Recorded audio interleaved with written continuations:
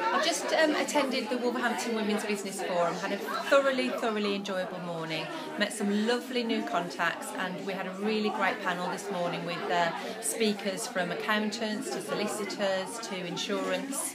Uh, professionals who gave us some fabulous tips on uh, how to improve and, and, help our business. A really, really great event. So if you get a chance to come along to the next one in January, I'll, I can thoroughly recommend it. Thank you. My name's Julie. I'm from Travel Counsellors.